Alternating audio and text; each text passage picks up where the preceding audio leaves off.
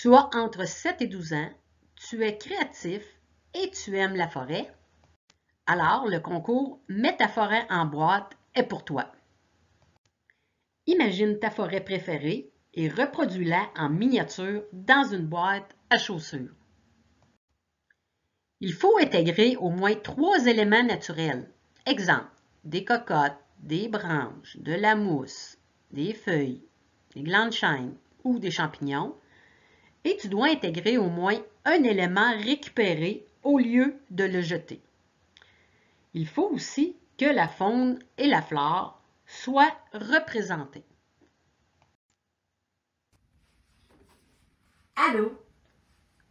Ta création devra être réalisée dans une boîte à chaussures munie de son couvercle. Le couvercle doit pouvoir se refermer pendant le transport. Tes éléments naturels doivent être collés solidement dans la boîte. De plus, tu peux décorer l'extérieur de ta boîte, soit avec de la peinture ou du papier d'emballage. Et aussi, il faut découper et coller le formulaire de participation que tu trouveras dans nos règlements. Alors, à bientôt! Tu devras déposer ta création dans les différents sites de dépôt avant le 21 avril 2023.